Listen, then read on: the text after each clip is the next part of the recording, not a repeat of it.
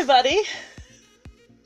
And let me start off by saying I am so in love with this cutie car.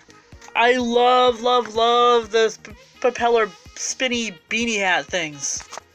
I'm obsessed with those hats. um, anyhow, this this particular one um, is called Prop Top, and this is number seven in Series Four.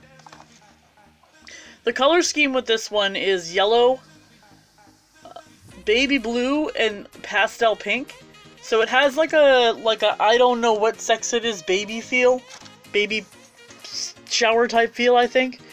But anyhow, it is a cat, and you can see that the color scheme from the plastic down to the die-cast metal just runs right on together. So you have the uh, white brim in the front with a white propeller, and it looks like that propeller spins, which is pretty awesome, I think.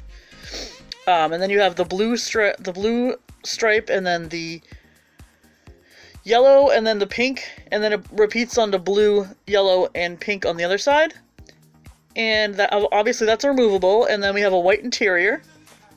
Same detail work as most of them. And then we also have the white wheels that matches the brim and the spinny.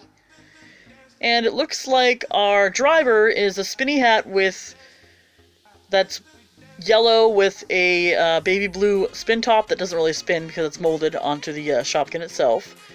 And it has um, pink feet or pink shoes on. So that's pretty cool. And we'll take a we'll take a turn the, this around here. Say hi to Blaze. um, and we're gonna take a turn here. Um, there's 20 of this series to collect.